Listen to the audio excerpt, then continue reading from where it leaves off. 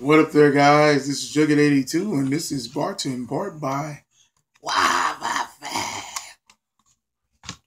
But yeah, this is going to be another beer review. And if you guys remember the last time I did a beer review, it was about a particular beer called Yuengling.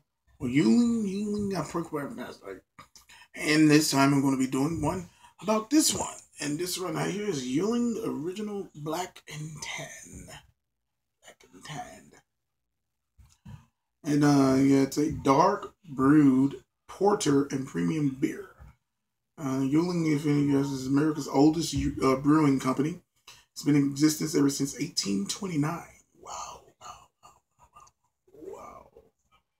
We proudly brew this traditional English 18th century blend of porter and premium beer, historically referred to as a black and tan a dark brew with smooth, mellow characteristics and a faint caramel flavor, created by the deep roasting of malts.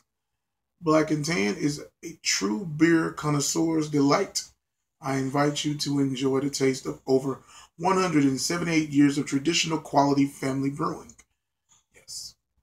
And, uh, yeah.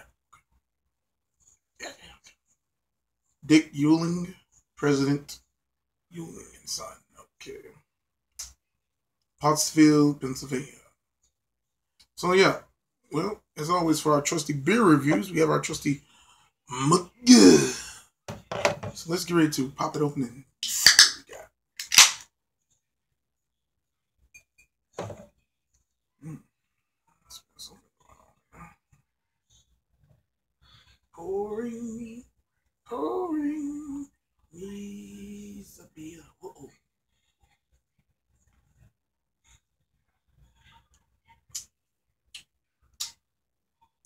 First of all, got a really, really nice head. This is a really good. I said that's about two inches almost.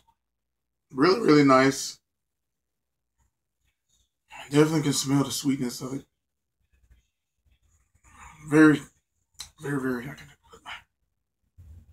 Uh, smells pretty good though. Mm.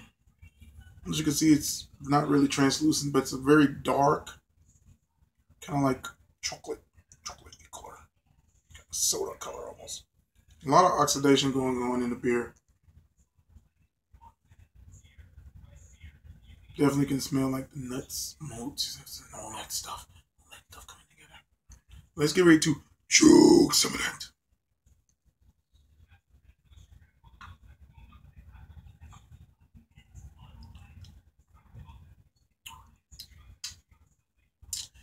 Sweetness. Excuse me. It's a very smooth taste, like it says on the can. It's very smooth. It really is pretty good. Let me taste it out the can. Got a little bit extra left in the can.